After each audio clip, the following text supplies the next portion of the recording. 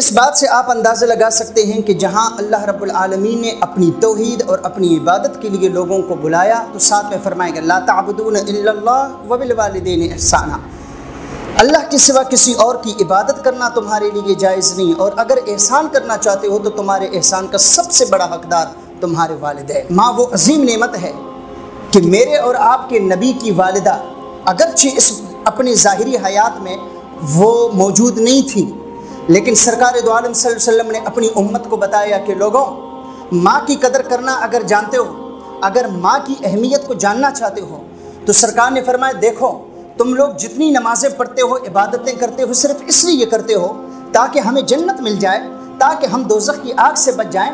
سرکار نے فرمایا، جس جنت کے لیے تم عبادتیں کرتے ہو جس جنت کے لیے تم عبادتیں کرتے ہو، میں وہ جنت اٹھا کر تمہارے ماں کے قدموں میں رکھ دوں گا۔ الجنت تحت اقدام الامہات۔ سرکار دو عالم صلی اللہ علیہ وسلم نے فرمایا، یہ جنت تمہارے ماں کے قدموں کے نیچے ہے۔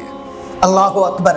آپ اندازہ لگائیں کہ جس وقت ایک صحابی آ کر عرض کرتے ہیں، یا رسول اللہ صلی اللہ علیہ وسلم، میں جہاد کے لیے تیار ہوں، میں جہاد پہ جانا چاہتا ہوں۔ سرکار دو عالم صلی اللہ علیہ وسلم پوچھتے ہیں کہ یہ تو بتائیں کہ تمہارے گھر میں کون ہے؟ کہتے حضور، اور تو کوئی نہیں ہے، ایک بوڑھی اماں میری ہے، وہ گھر پہ ہے۔ تو سرکار دو عالم صلی اللہ علیہ وسلم نے فرمایا، اب تمہارے لیے جہاد یہ نہیں ہے کہ تم کافروں کا سامنا کرو، تمہارے لیے جہاد یہ ہے کہ اپنی ماں کے قدموں میں بیٹھو اور اپنی ماں کی خدمت کرو اور اپنی ماں کی دعائیں لو۔ یہی تمہارے لیے جہاد بھی ہے، یہی تمہارے لیے جنت بھی ہے۔ حضرت موسیٰ کلیم اللہ عظیم الشان نبی ہے، کلیم اللہ ہے، اللہ سے ہم کلام ہوتے ہیں، جلالی نبی ہیں، جلال ہے اس کے اندر غصہ ہے۔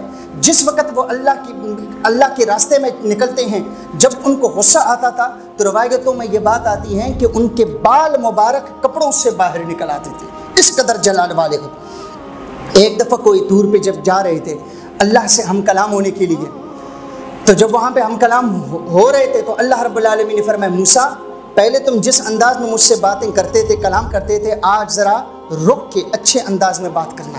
ذرا اس انداز میں بات کرنا جس طرح پہلے تم جس انداز میں آ کر جلال والے انداز میں مجھ سے بات کرتے تھے، اب کے بار ایسا نہیں کرنا۔ حضرت موسیٰ نے اس کے مولا، ایسا کیا ہو گیا؟ میں تو تیرا کلیم ہوں، تیرا نبی ہوں۔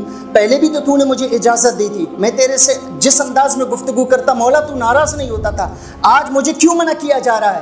اللہ نے فرمایا، موسیٰ پہلے جب کبھی تم گھر سے نکلتے تھے نا، تو پیچھے تمہاری ماں کی دعائیں ہوتی تھی کہ مولا، میرے موسیٰ جلالی ہیں، میرے موسیٰ غصے والے ہیں، ان سے درگزر کرنا، یہ جس انداز میں تم سے بات کریں ان سے درگزر کرنا، اس وقت تمہاری ماں کی دعائیں ساتھ ہوتی تھی اسی لیے تم آ کر میرے سامنے یہ کہتے تھے، ربی لو شیت اہلکتہم من قبل و اتہلکنا بما فعل الصفحاء منا انہی الا فتنتک۔ تم مجھ سے اس انداز میں بات کر رہے تھے کہ مولا، تم نے ان سب لوگوں کو بھی مار دیا، مجھے بھی مار دیا مولا، یہ سب تیری آزمائش ہے. میں پہلے تمہاری ساری باتوں کو مانتا تھا. تم جس انداز میں بولتے تھے، میں تجھے منع نہیں کرتا تھا. کیوں؟ کہ پیچھے تمہاری ماں کی دعائیں تھیں. موسیٰ آج تمہاری ماں جب ساتھ نہیں ہے، تو آپ اس انداز میں بات کریں کہ جس انداز میں میں ابھی تمہیں حکم دے رہا ہوں. تو جب اللہ کے نبی حضرت موسیٰ، جو اللہ کے کلیم بھی ہے، اندازہ لگائیں آپ اس بات سے. آج کے نوجوان اس بات سے یہ سبق لے لیں.